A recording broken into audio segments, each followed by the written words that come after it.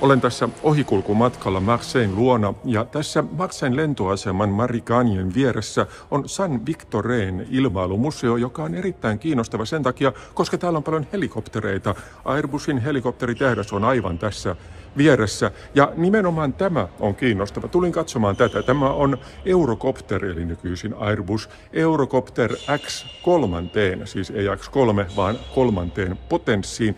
Mielenkiintoinen helikopteri, mihin on laitettu potkurit. Ja tämä tulee nykyisin melkein aina mieleen, kun katselen erinäköisiä sähköisiä lentolaitteita, joissa on potkureita edessä, takana ja ylhäällä ja joka puolella.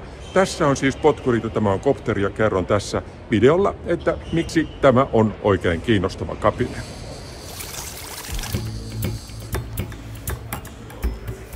Tosiaankin tämä laite tässä on Eurocopter X3 ja se on maailman nopein helikopteri. Se rikkoi maailman ennätyksen kesäkuussa 2013 lentämällä 472 kilometriä tunnissa ja tuo ennätys pitää edelleen. Ja sen tässä kyljessä on 255 solmua, eli se on tuo nopeus, jolla se lensi. Ja mihin tämä nopeus oikein perustuu? Se on yksinkertaisesti se, että tässä on kaksi potkuria, jotka vetivät kopteria eteenpäin. Ongelmanahan helikoptereissa on normaalisti se, että roottorin nostovoima suuntautuu pääasiassa ylöspäin ja vain pienessä määrin eteenpäin, tai siis mihin tahansa suuntaan vaakatasossa, mutta yleensä eteenpäin se on se kaikkein kiinnostavin. Katsotaan tässä välissä hieman perinteistä helikopteria.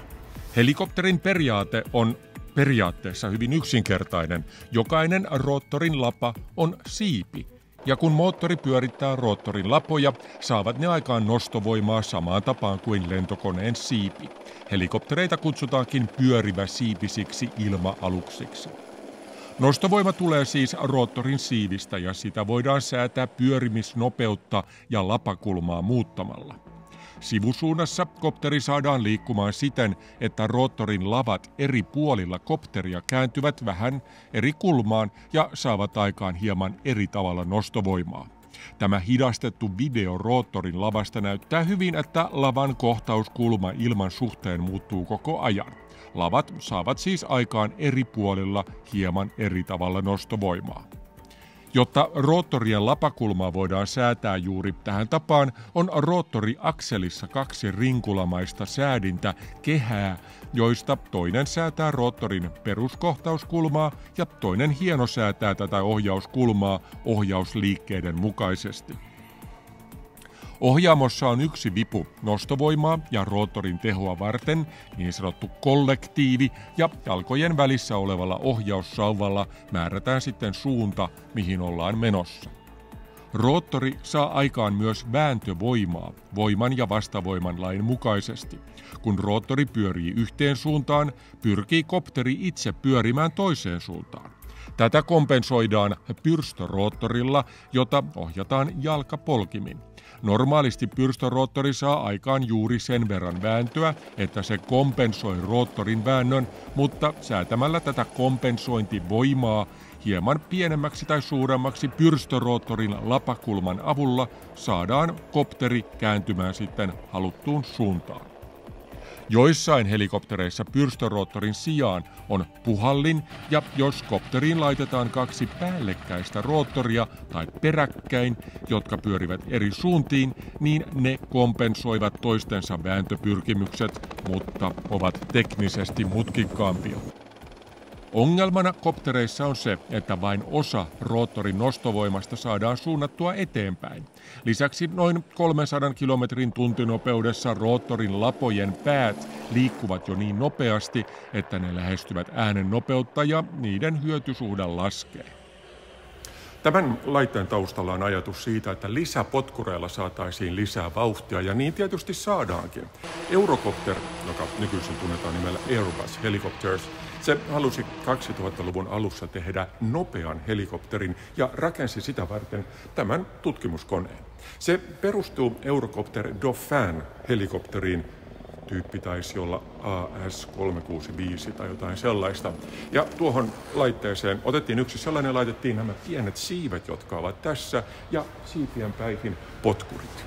Myös laitteen perää muutettiin, nimittäin siellä ei ole tavallista pyrstöroottoria laisinkaan, vaan siellä on kaksi peräsintä. Ja pyrstöroottorin tointa hoitaa sitten se, että näiden kahden potkurin lapakulmia säädetään ja ne kompensoivat sitten ison potkurin aiheuttamaa pyörimisvoimaa. Näitä viisilapaisia potkureita pyöritetään kahdesta päämoottorista tuolla ylhäällä sieltä tulevilla akseleilla. Eli näitä potkureita varten ei ole omia moottoreita, vaan ne ovat nuo Rolls-Royce Turbomekan moottorit tuolla ylhäällä, jotka normaalistikin ovat Dauphinissa. Nuo pienet siivet saavat aikaan myös nostovoimaa, minkä ansiosta pääroottorin nopeus voi olla matkalennossa hieman pienempi ja se tekee lentämisestä tehokkaampaa ja auttaa osaltaan saavuttamaan tuon suuren nopeuden. Aivan ensimmäinen helikopteri, missä tätä periaatetta käytettiin, oli brittiläinen Fairlead Rotterdam 1950-luvulla. Idea on tosin jo vanhempi, mutta tämä Fairlin laite oli ensimmäinen potkureilla varustettu helikopteri. Se toimi ja osoitti menetelmän hyödyt, mutta projekti lopetettiin vain prototyypin lentämisen jälkeen, koska laite ei ollut taloudellinen, se oli varsin meluisa ja asiaan vaikutti myös brittien sisäinen teollisuuspolitiikka. Tämä kopteri valmistettiin täällä Marseissa ihan tuossa vieressä ja se teki ensilentonsa Istresin lentotukikohdassa myös tässä ihan vieressä parinkymmenen kilometrin päässä syyskuun kuudentena päivänä 2010. Sen jälkeen tällä laitteella tehtiin paljon koelentoja, paitsi täällä, niin myös ympäri Eurooppaa ja myös Yhdysvalloissa, missä puolustushallinto, siis sikäläinen puolustushallinto Yhdysvaltain sotilasvoimat, suunnittelivat tuolloin tilaavansa tämänkaltaisia nopeita helikoptereita, siis 2000-luvun alussa. Oli Future Vertical Lift-niminen ohjelma, joka kuitenkin peruutettiin. Yhdysvalloissahan on käytössä vähän samasta syystä nyt kääntöpotkurilentolaitteita, kuten V-22 Osprey ja V-280 Valor, joka pystyy nousemaan ja laskeutumaan pystysuoraan, mutta lennossa sen potkurit käännetään eteenpäin. Ja mitä vielä tulee Yhdysvaltoihin, niin Sikorsky-yhtiö tutki myös tällaista X-3T kaltaista laitetta samoihin aikoihin kuin Airbus, tai siis Eurocopter, mutta Tämä oli huomattavasti nopeampi.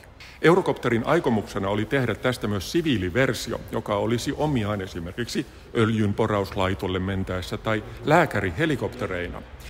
Vuoden 2017 Pariisin ilmailunäyttelyssä oli esillä mallikappale Racer tai Racer nimisestä helikopterista, joka perustuu tähän ja joka voisi lentää 400 kilometrin tuntinopeudella ja olisi noin 25 prosenttia edullisempi käyttää kuin samankokoiset perinteiset helikopterit.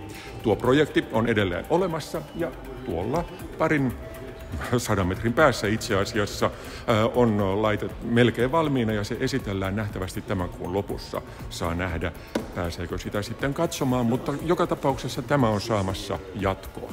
Ja hyvä niin. Nyt ei muuta kuin kiitos ja näkymiin. Niin ja muista tilata kanava, jos et sattumalta ole tehnyt jo niin.